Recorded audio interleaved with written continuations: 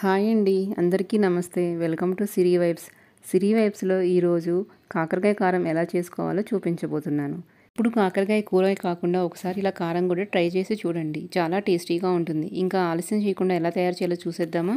కారం కోసం ముందుగా ఒక హాఫ్ కేజీ కాకరకాయలు తీసుకొని శుభ్రంగా కడిగి వాటిని స్కిన్ ఇలా రిమూవ్ చేసుకొని పక్కన పెట్టుకోవాలి. ఈ కాకరకాయ ముక్కల్ని బాగా సన్నగా కట్ చేసుకోవాలి. ఇలా సన్నగా కట్ చేసుకోవడం వలన కాకరకాయలు బాగా క్రిస్పీగా ఫ్రై అవుతాయి అండ్ త్వరగా ఫ్రై అయిపోతాయి. ఇప్పుడు స్టవ్ మీద ఒక ప్యాన్ పెట్టుకొని డీప్ ఫ్రై కోసం ఒక టూ హండ్రెడ్ ఎంఎల్ ఆయిల్ తీసుకోవాలి. ఆయిల్ వేడైన తర్వాత మనం ముందుగా కట్ చేసి పెట్టుకున్న కాకరకాయ ముక్కల్ని కొంచెం కొంచెంగా వేసుకుంటూ కలుపుకుంటూ ఫ్రై చేసుకోవాలి. ఇలా కలుపుకుంటూ ఫ్రై చేసుకోవటం వల్ల అన్ని ముక్కలు ఈవెన్గా ఫ్రై అవుతాయి. కాకరకాయ ముక్కలు క్రిస్పీగా అయ్యేంత వరకు ఫ్రై చేసుకోవాలి. కాకరకాయ ముక్కలు బాగా వేగిన తర్వాత తీసి పక్కన పెట్టుకోండి. మిగిలిన కాకరకాయ ముక్కలను కూడా కొంచెం కొంచెంగా వేసుకుంటూ ఫ్రై చేసుకొని పక్కన పెట్టుకోవాలి. కాకరకాయ ముక్కలు ఇలా బాగా క్రిస్పీగా వేయించుకోవటం వల్ల మనకి కారం కూడా చాలా రోజుల వరకు నిల్వ ఉంటుంది.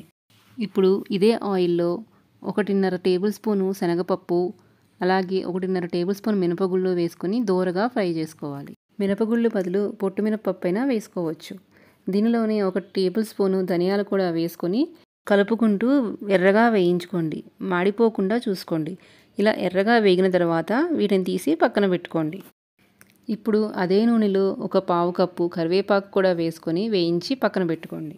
రెండు టేబుల్ స్పూన్ల పల్లీలు కూడా వేసుకొని ఫ్రై చేసుకోండి. పల్లీలు వేగిన తర్వాత రెండు టేబుల్ స్పూన్ల ఎండు కొబ్బరి వేసుకొని దూరగా వేయించుకోండి. అందులోనే రెండు టేబుల్ స్పూన్ల నువ్వులు ఒక టీ స్పూన్ జీలకర్ర ఒక అర టీ స్పూన్ ఆవాలు కూడా వేసుకొని దూరగా వేగిన తర్వాత తీసి పక్కన పెట్టుకోండి.